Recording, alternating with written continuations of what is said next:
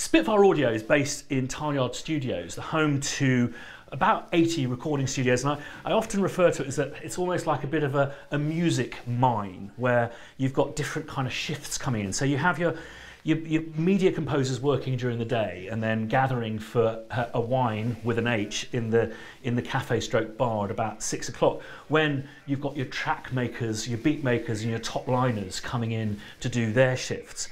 But what's been great about this community is to make friends with people not only in the media music business, but the other side of the tracks, making tracks. And this guy is a serious talent. Tom Fuller is going to show us around and talk about the subtle differences between making tracks and making music for media. Hello, Hello mate.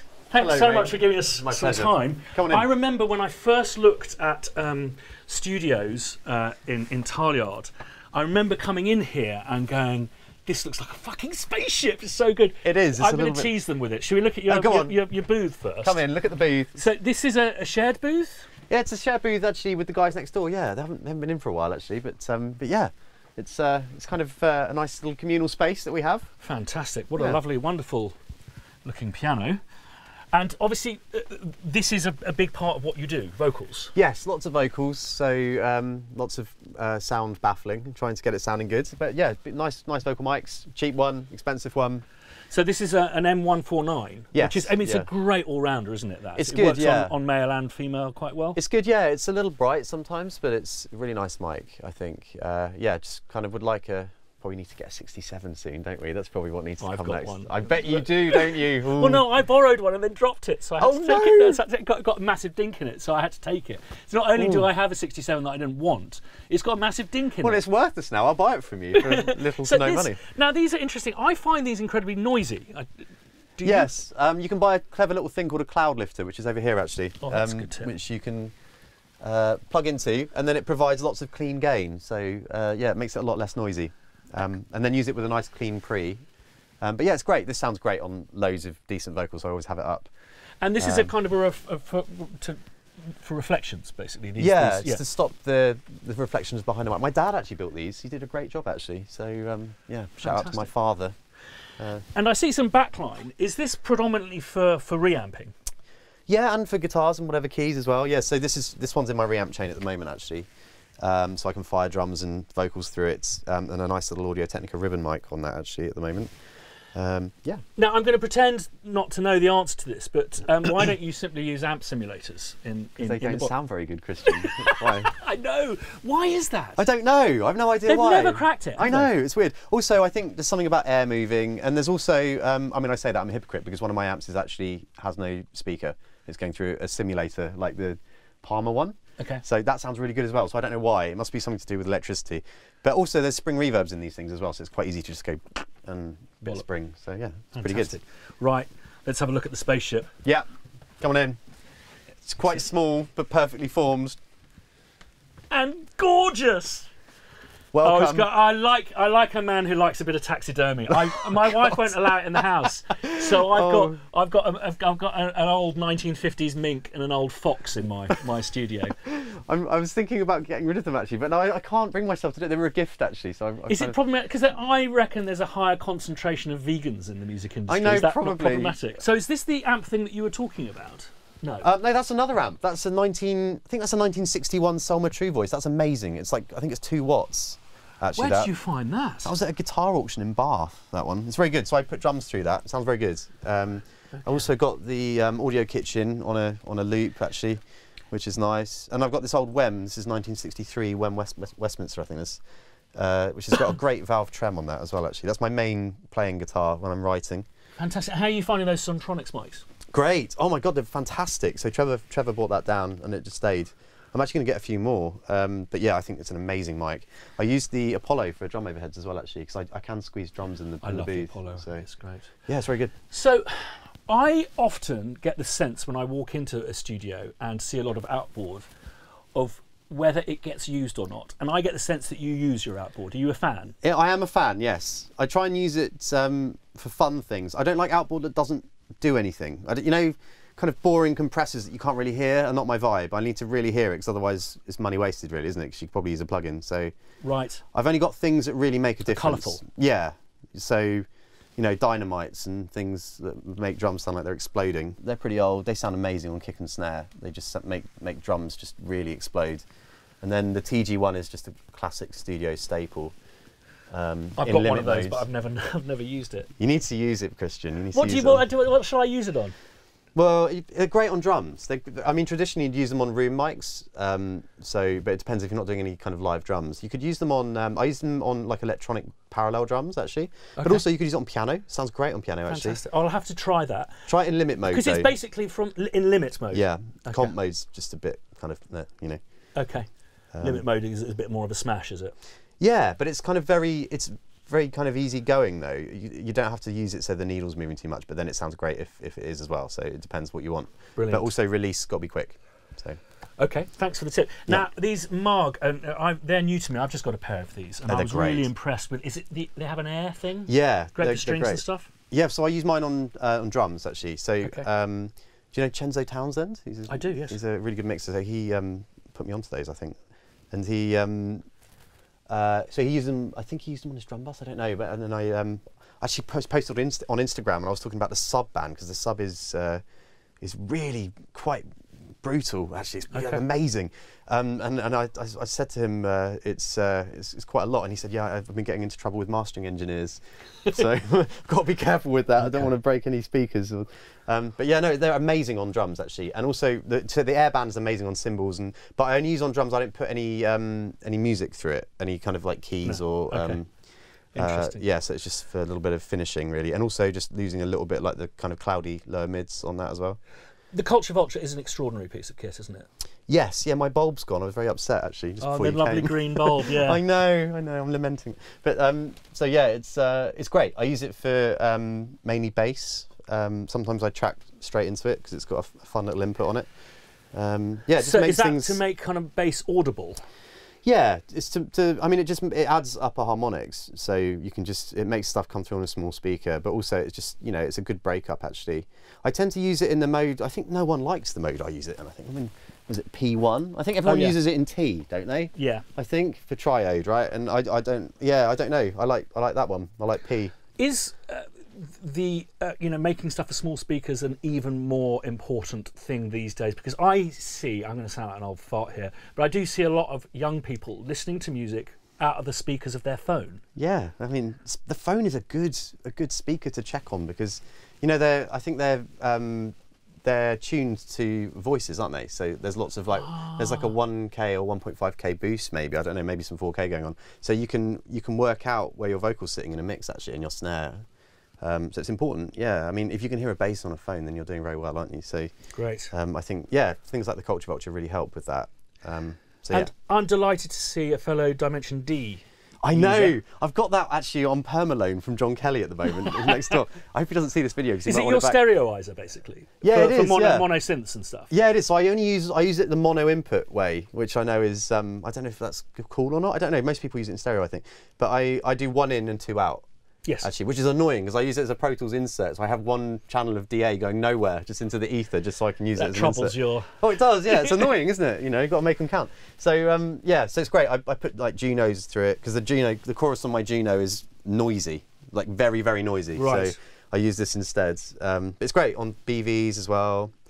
Um, strings, if I want them to sound a bit weird. Also, um, BV, uh, also yeah, uh, reverb returns. So so sometimes Oh. I take the PCM80 and just chuck that over the. Oh, the- how interesting. yeah, it's pretty fun actually if you're doing Oh, something I'm gonna try that. Great on effects Great. I, I love something you just can't tinker with. It's just, I it's, it just, it's a good chorus. They've worked out what sounds good, and I don't know what buttons to use. I keep asking people what there are combinations. com- there are combinations, aren't there? I know, always well, thought there were only three, four settings, but yeah. Well, so yeah, I just every now and again I just change it and see if I can hear the difference, and usually no, I don't know. I know number four is is um, better supposedly. I don't know, or more audible.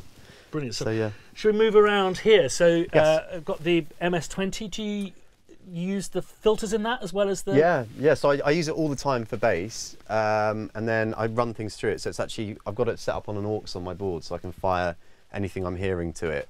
um, which is quite fun. So I put, use it a lot for drums. Brilliant. The filters are amazing, obviously, but also you can, can if you use the electronic signal processor, you can control the CV from you know it derives uh, CV from the input signals, which is quite good. So you can kind of do some fun kind of with with the tom hits and things. Quite fun. So Oh, great. yeah, it's very good. Um, and then also I've got the dope for which I can plug into it if I can be bothered, which is quite fun. DrumBrute. Yeah, this is another Arturia number. It's good actually. This is kind of quite fun, isn't it? That's through the MS20 actually. It doesn't normally sound like that. It normally sounds more like this. Uh, Oh, It's quite good. Oh, I'm going to start using my MS20. To, so, what are you I doing know. with the MS20? so I'm just sending. Oh, I'm stopping over here. Basically, just off an aux, just sending through the filter. Let's so I can just go like. If I just do. Oh, I've lost it now. I've lost it. I've broken it. Where is it? There it is.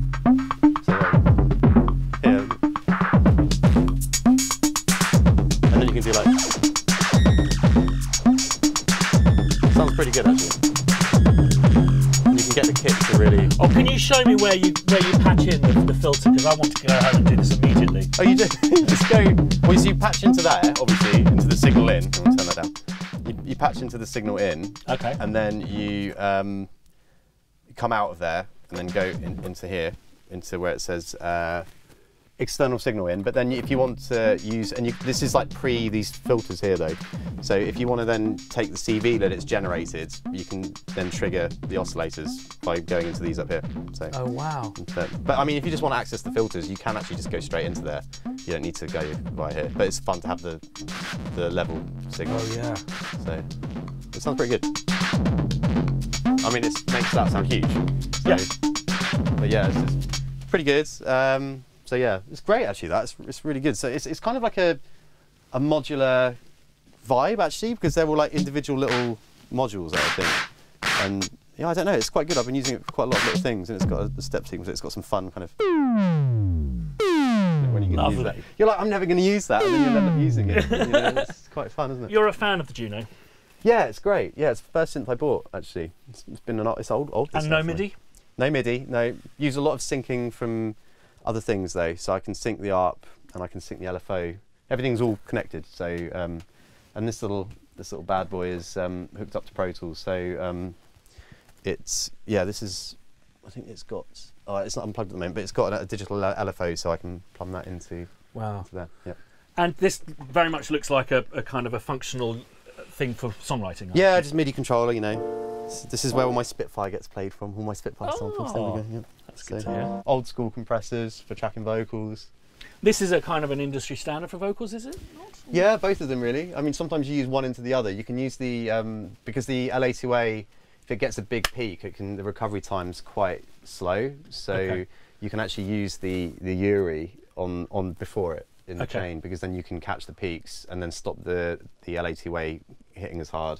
Right. So you could use it on like eight to one or twelve to one, but carefully, you know, and then Fantastic. it's a good chain. And um, do you use the AD converter on this? I do, yeah, I do. I use it. you're to, happy with that? Um, well, I actually use it to print my mixes through. Um, Oh, so interesting. Because it's got an insert point, so you can pat. You can just use. I use the pre's for like piano, and then I can just patch my mix into it. But I've got some other converters as well, so I can. I've actually got. This is really boring, but I've got. Um, I've got it tweaked to have more headroom. So I've got two sets of converters, and if I want to print my mix hotter, um, or like drive things harder, I can then use that on the way in, and it knocks I think 6 dBs or 4 dBs off the top. So Okay, interesting. it means I can crank the mix bus harder. Fantastic. So- So, what is your preferred mic pre? Uh, I, I love this Heritage Audio up here. Actually, it's like a copy of a Neve. Um, it sounds. I was at Real World actually, and we had a bunch of vintage Neves up, and this was the only one that sounded remotely similar. The EQ's great, and these um, VP28s here as well are really good. Uh, they're like classic APIs, and the, the, the trim pots at the bottom are actually small faders. They're not just uh, attenuators. So there's lots of op amps in there. It sounds good. Sounds really good. They just sound like really good APIs. Um, and the Cartec ones are fun as well. They've got like little kind of solid state Pultec EQs on. What else have I got? I don't know. That's mainly it. This is amazing actually. This is a, a really crunchy, uh, crunchy compressor and distortion box. It's amazing actually. It just brings vocals right to the front. Um, famously used, I think, What, by this? no, No. this this that's the part. This, say, I don't know what this little one here. It's called a level It's like I think it's a copy of the old um, uh, Level-Loc. You know, have you used Devil-Loc? No. in the box. It's a Soundtoys plugin. I think it's like the hardware version of that, effectively. But it sounds great. Um, I think it was used for like Matt Bellamy's vocal on Muse, that kind of vibe. So it's like very like, but Brilliant. it's very good. Yeah, fun things, fun thing. Yeah. And what's the thing in the in the in the? Is it That's a spring, a spring reverb. Oh, that. right. Very good re- reverb. They're actually quite rare, those, I think, now. It's a Klark Teknik one. So it doesn't look very cool, but it sounds amazing.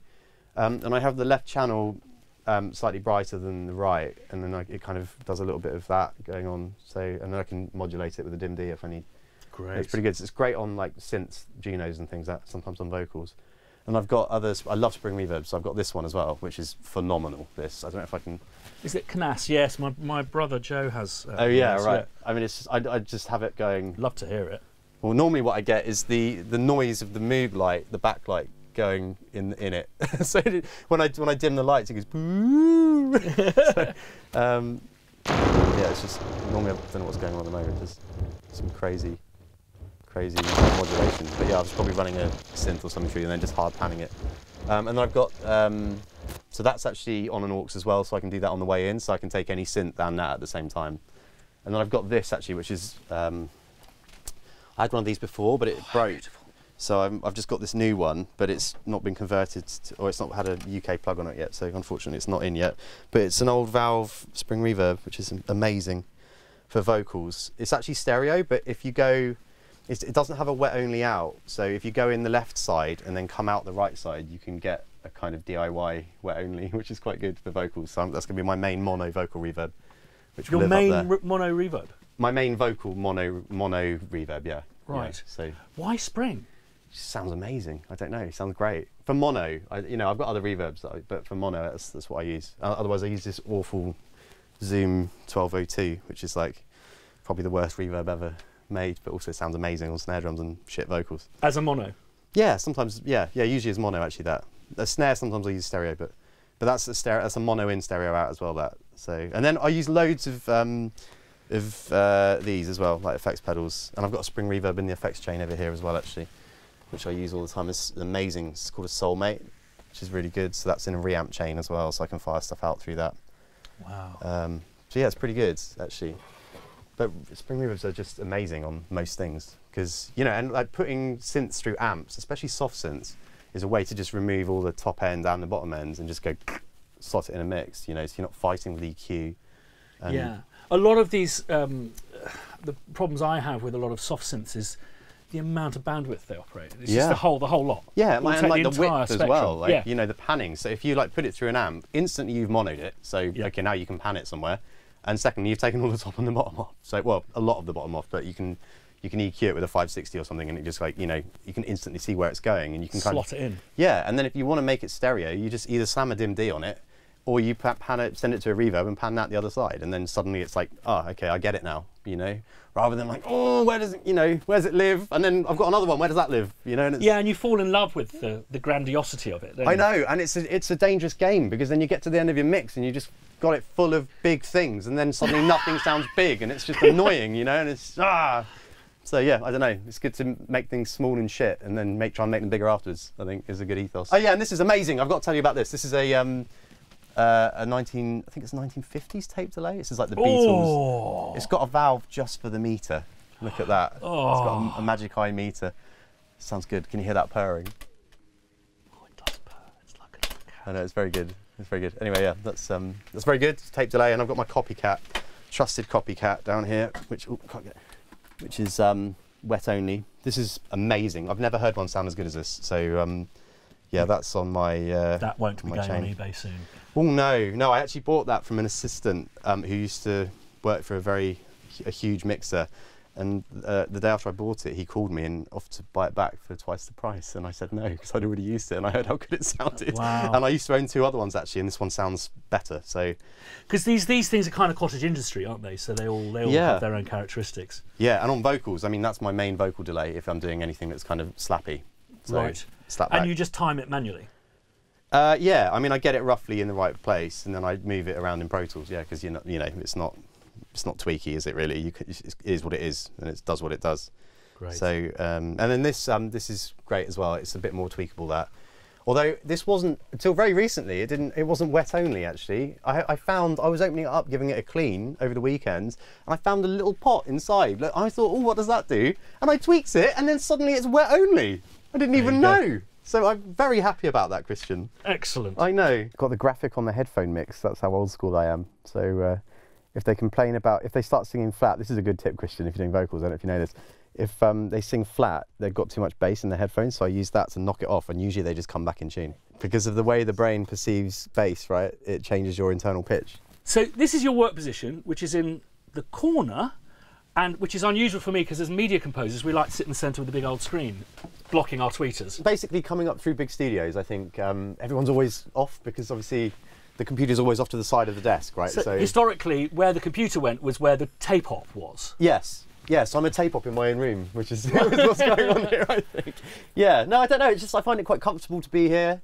And I've got my little stereo, which I do a lot of work on, and I kind of That, what that? yes, it's, it's my little. Uh, it's a Pure Evoke. It's very good. A lot of mixers use it. It's very good. You Really? yeah, it's really good for like leveling snares and, and vocals, um, and also getting basses to kind of come through on small speakers is like the holy grail of, of decent mixes. So um, yeah, it's really good for that. But yeah, it's great because I can work here. Then if I need to check it doesn't sound shit, I can just kind of come to the middle of the room and then check on the other monitors and then come back. And you have two different kind of near fields. You've got the focals and Yeah, and the Amphions, I'm loving these Amphions actually. They're, they're quite new um, to me. I think they've been around a few years now. They're really good. They're very, um, very hi-fi, transparent. I originally got them to replace NS10s because I kept blowing the tweeters. And the Amphions you can't crank loads if you're working with a band or working with an artist and you really want to crank, or you like you've got a Moog plugged in. Mm-hmm. The Moog is like the surefire way to blow any speaker across the room. If it's Really? small. Oh my god, yeah! You just hit a. I've got I've got like a an EQ across my mix bus filtering at like 40 hertz because as soon as someone grabs something and I'm not looking, drivers start firing across the room. so it's, it's quite quite a lot. So yeah, I've got to be careful with the Amphions, but um, the, the Focals can take it. So they're here for turning up. I saw on your Instagram account that you've recently done a, a, a rewire. Oh yes, Is it a, a new system or? it's a new workflow, I think. Okay. I realised I was being too slow. I create sounds and I kind of mix as I go, but I realised that um, none of my mixes were recordable because I was just doing monitor mixes effectively and then giving the mixes to other people. But then I was getting my rough mixes used a lot, and then the labels would be calling me asking for stems and asking for revisions and I just you know it was a job to try and get a mix back that effectively was just Wow. an end of day mix from you know Board mix, yeah. yeah, well, like from two months ago, and I can't remember what the hell I'd done. Um, and they had a vibe, um, and actually, uh, an artist I was working with quite recently just messaged me, and he was just like quite frustrated actually because we had this mix and it was amazing, and it had gone off to LA, and it had been mixed by you know big big mixer. Honcho. Yeah, and it, and it's um and it, they were just like it, it sounds the drums sound better. We like certain things in your mix better. Obviously, the vocals it's, it's, has, it's had some time on it, so there was some Yeah. good good things in the new mix. But you know, just trying to get those things back, and just my mixes weren't recordable, and he's, he's just like, "Aren't you frustrated?" I'm like, "Yes, I'm frustrated. Okay. Really frustrated." So um, I was like, "Right, ripping the whole room out." I was obviously I've been planning it for probably probably a year, but I just haven't had a week to just do it, and I thought it was going to take three days, and it took ten days. No, sweetie. No. I yeah. know. God. So, did, did you do it yourself or? Yes, I did. Yeah, and um, a, a guy called Brendan Cox helped me, and Oh, he's, he's right, a lovely yes, man, and he spent a lot legend. of time, Yeah. a lot of time on his back under the desk with me, plugging things in. It doesn't look like there's much wiring in here, but there's, there's you can kind of do that around the wiring. There's a trunk that runs all Right. along, the, so yeah, it's a lot. You don't want to see under there. I've hidden it because I knew you were coming, but but yeah, it's it's a lot, um, but it's good. So basically, what, what it lets me do is it splits the room into kind of two halves. So the board is just kind of inputs actually. So you can kind of grab anything and, and like play, and it's always coming in onto the board, and even before Pro Tools, so I can always hear stuff without arming tracks, Okay. which is great because you know if you're with an artist in the room, you know you get someone they're like, "Is this on?" And the answer is yes. Now, Yeah. whereas before it was like, "Oh no, I need to arm a track," and you know, Yeah. so now it's good for creativity. and Um, do, did, did you find that when it was a bit of a, a hassle, you'd sometimes be, if you're working under pressure, sometimes less inclined to use the outboard? Oh, all the time, yeah. Like Which is the- a pity, is it not? Because the, the outboard is, is what I think creates something unique potentially. Yeah, I mean, I mean, outboard's like it's cool. It's like a bit boring if you're like if you're talking about mixing. I guess it's cool. It makes stuff sound good. That's its job, right? That's, Yeah. So I like using it. Half the stuff wasn't plugged in for a year because you know I'd have to patch it, and I've only got so many channels, and I was returning on the board. So now I'm summing in the box effectively. I've got my mix bus on the board actually, but um, but yeah, that outboard's all on hardware inserts now. So Okay. um, for mixing, um, although I've done a clever thing where I can um, my first eight hardware inserts come up on the patch bay. Um, so I can like the Urei and the, the LA2A, I can actually patch into those for tracking as well. So Okay. so say you want wanted to record a, like I don't know the drum machine through the Urei, I just go boom, and then suddenly it's on the way in, pulled out of the hardware insert chain, yank the cords, and suddenly it's back in whatever was going on. Okay. So it's quite good for that. Yeah, and it's great if you've got other people in the room as well. So you know, because otherwise you're just rely they're reliant on you sat here doing this, rather than going, oh, I just want to do that, and then Yeah. you know, So you're in Pro Tools, yeah.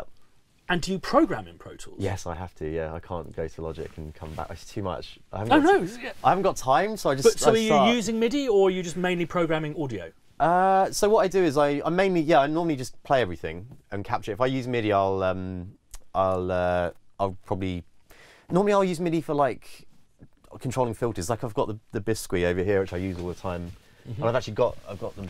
I've got the the um, controllers the controls coming out to a separate controller actually, so I can sit here and, and plug- muck about with it. Okay. So I'll use MIDI for things like that. Um, a lot of the synths don't have MIDI. The Juno doesn't have MIDI in here. So. So you're you're physically pl- playing most of the stuff in, and then then aligning to grid and all of that kind of stuff. Yeah, and then if I want to program something with MIDI, then I'll use this as my main controller or the digital piano behind you. And then, um, like if I'm doing some orchestral stuff, obviously you've got, you've got to because you need to be tweaking notes and stuff. Right. So um, yeah, so I'll do that if I have to. Yeah, I do drum programming. I tend to use um, I'll use like an 808 style programmer, or I'll just play it live. So because I'm all about the groove actually. So Right. I don't like things to be too gridded um, unless I want it to sound completely on the grid, like it's some kind of, you know, or like with some swing or something like an MPC style thing. I'm committing all the time. Part of the hardware insert thing is as soon as I'm happy with something, I just commit that insert now, which is amazing for me. My workflow's changed drastically. Because, Really? Yeah, because now before I was I couldn't save anything, uh, you know. Now I, I get a sound, I like it. The mix is pretty good. If I think they're gonna go for it, s- like highlight these tracks, commit just as one real time pass, and then all of that stuff's stored in Yeah. the in the session, and I can effectively yank my laptop and go away with it. And this is another massive thing. I'm now on a laptop as well, so I'm completely portable. One cable goes in and lights the whole studio up, and then at the end of the day, I unplug that cable, take it away, and it's exactly how it was. Oh, so that so that is actually your computer. Yeah, yeah. The whole studio is running from a brand new MacBook.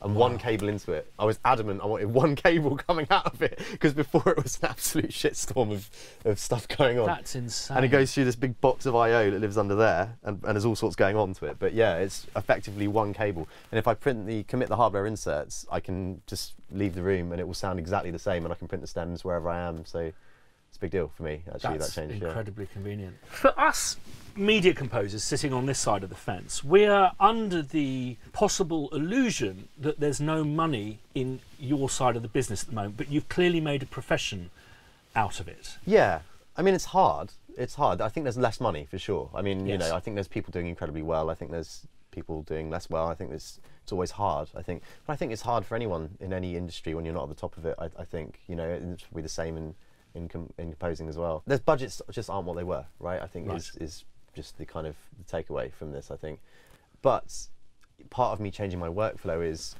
I want to be. ab- I used to just give mixes to other people, and and now I want to try and keep that in house. You know, I get to retain the control over it, and also you know effectively I get to bill for that too. It's, you've got to be more cutthroat with your kind of workflow and your approach. Otherwise, I think uh, you know you're going to go under. I think that's just genu- genuinely how it is. This is why it's important to write. It's Yes. important. You know, PRS is a big deal. You know now. I think. And obviously, that's if you're a composer, that's huge. Yes, You know. it's everything. Um, so you know, it's but it's a big deal to me too, and it's a big deal to a lot of you know people who are producers are also writers, and Yes. just having a finger in many pies. You know, do library stuff, do sync stuff, do you know do collaborations with other people in other industries, and I think you can kind of also it keeps it interesting, right? Because you don't want to just do the same thing all the time. So have you done much library work? Yeah, a little bit. Yeah, yeah. Yeah. It's, it's good. I enjoy it. And you've been professional now for. Uh, I don't know now. I'm getting old. I'm, No, you're not. I think maybe twelve years. I 12 years. So if you could say one thing to you, you the, the, the producer, writer, composer that is you now, could say something to you 12 years ago, what would that be? Uh, eat less takeaways, be more healthy, drink less. Yeah, I think it's good advice. I, always say that you are the CEO of the business that is you, Yeah. and it's therefore important that it's scalable and sustainable. Yeah, hugely. Oh my god, I, I mean, yeah, hugely. I think Do you think getting out is important, or do, do, are you a bit of a troglodyte? I mean, yeah, getting out is really important. I, I'm, I started swimming every day. I think I told you this already, and I, it's changed my my life. I've like started losing weight. I was getting, you know, you come into the studio every day, and it feels like a bit of a prison, and you know, you're eating badly and you know drinking and then you're not getting any exercise. So i decided that i needed to 12 o'clock every day i go down and i swim 70 lengths and then i come back. And as long as i'm not working with someone new or uh, someone who can't you know is no has no flexibility at all then i will do that. Sometimes the artist i'm working with the artist i'm working with will come with me. So Okay. you know it's quite fun actually. That's a good icebreaker. i know right? Let's- let's get into it. let's, Let's go get- for a steam. It's really european isn't it? I like it. Tom, listen, thanks so much for your time. Yeah, Brilliant. Excellent. thanks for coming